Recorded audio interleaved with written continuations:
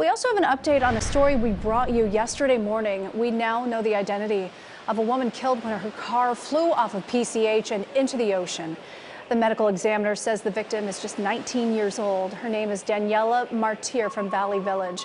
We're told she was the only person in the vehicle when it lost control just north of Leo Carrillo State Beach around 2 a.m. Monday morning.